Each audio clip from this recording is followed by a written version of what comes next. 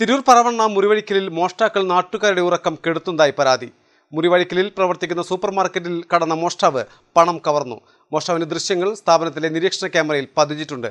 പ്രതിക്ക് വേണ്ടിയുള്ള അന്വേഷണത്തിലാണ് തിരൂർ പോലീസ്. തിരൂർ പറവണ്ണ മുറിവഴിക്കൽ ഫൈസലിന്റെ ഉടമസ്ഥതയിലുള്ള സ്റ്റാർവൈ സൂപ്പർ മാർക്കറ്റിലാണ് ബുധനാഴ്ച പുലർച്ചെ രണ്ട് മുപ്പതോടെ മോഷണം നടന്നത്. പൂട്ടി തകർത്ത് അകത്ത് കടന്ന മോഷ്ടാവ് ഷെൽഫിലുണ്ടായിരുന്ന പണം അപഹരിച്ചു. കടയിൽ സ്ഥാപിച്ചിട്ടുള്ള നിരീക്ഷണ ക്യാമറയിൽ മോഷ്ടാവിന്റെ ദൃശ്യം പതിഞ്ഞിട്ടുണ്ട്. സമീപത്തെ മുറിവഴിക്കൽ സ്വദേശി മുഹമ്മദ് കുട്ടിയുടെ മസ്ജിദ് ബിൽഡിംഗിലെ കടയുടെ ഗ്രിൽസിന്റെ പൂട്ട് തകർത്ത നിലയിലാണ്. കഴിഞ്ഞ മാസമാണ് മുറിവഴിക്കൽ ആവേൻകോട്ടയിലെ ഭണ്ഡാരം തകർത്ത പണം മോഷ്ടാക്കൽ അപഹരിച്ചത്. അന്ന് തന്നെ സമീപത്തെ പത്തോളം വീടുകളിലും മോഷണം നടന്നിരുന്നു. രണ്ടു ദിവസം മുമ്പ് അരിക്കാഞ്ചേരിയിലെ മൈത്രി സൂപ്പർ മാർക്കറ്റിലും ബോൺക്രീറ്റ് കടയിലും മോഷണം നടന്നിരുന്നു. ഒരു മാസത്തിനിടെ പത്തോളം മോഷണങ്ങളാണ് നടന്നത്. രാവിലെ വരുമ്പോൾ ഇങ്ങനെ അടഞ്ഞു കിടക്കുന്നത് തുറന്നു നോക്കിയപ്പോൾ രണ്ട് പൂട്ട് പൊട്ടിച്ചിട്ടുണ്ട് രണ്ട് ഒരു ചങ്ങലക്കിട്ട പൂട്ടുണ്ടായിരുന്നു ഒരു ചങ്ങലക്കിടാത്ത വേറൊരു ലോക്കും ഉണ്ടായിരുന്നു. ഇത് രണ്ടും പൊട്ടിച്ചിരുന്നു.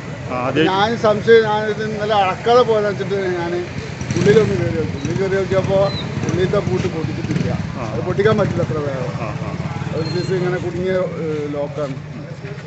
ഇവിടെ ഇതിപ്പോൾ രണ്ട് മൂന്ന് തവണ ആയിപ്പോൾ അടുത്തൊരു വീട് വീടിന് ഇതേമാതിരി ഒരു സംഭവം ഉണ്ടായി. വലിയ